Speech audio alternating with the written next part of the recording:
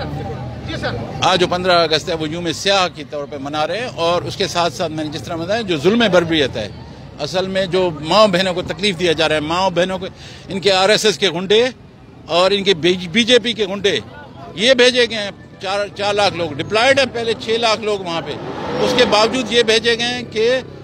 वहाँ पे माओ बहनों के साथ जुल्म किया जाए और उनके स्कूल कॉलेज बंद हैं और उनके साथ